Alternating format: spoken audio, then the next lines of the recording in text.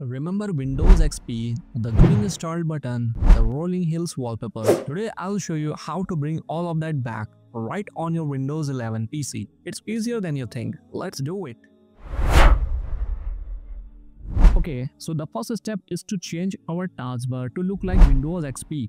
For this, we are going to install RetroBar X on our system. To download it, simply open your web browser and search for RetroBar X GitHub click on the GitHub link, scroll down to the asset section and download the latest zip file. Once downloaded, extract the zip file and run the installer.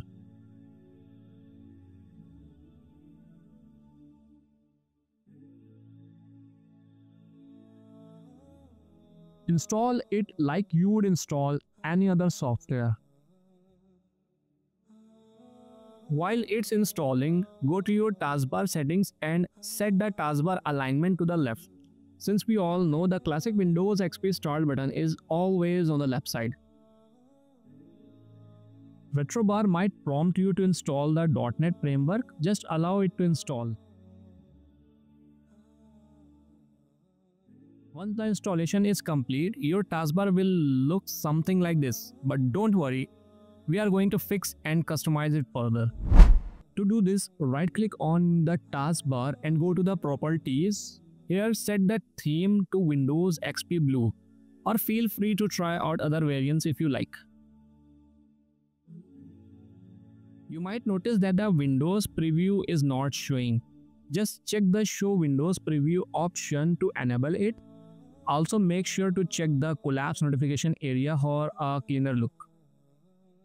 Now go to the advanced tab. Here you can adjust the taskbar size if it feels too big or too small. For me, 115% looks just right.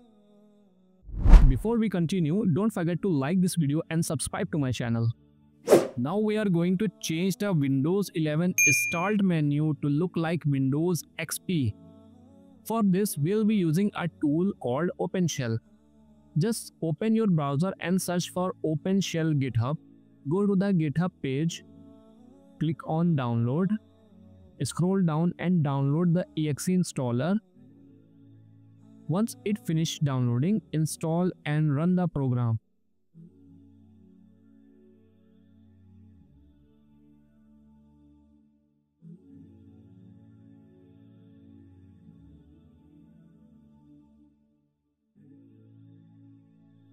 When this page appears, select the middle style which is classic with two columns. And just like that, your start menu starts looking like Windows XP. Now, now go to the skins tab and select Windows XP Luna.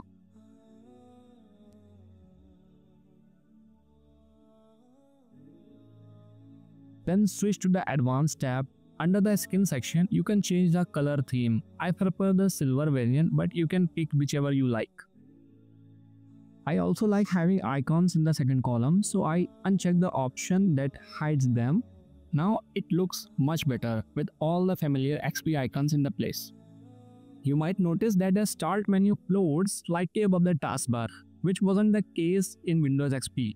To fix this, go to the menu look tab and look for the settings called vertical position offset and set it to around 8 that works perfectly for me and that's it. Your start menu now look like classic windows xp for the last step we are going to change the windows 11 wallpaper to the classic windows xp background.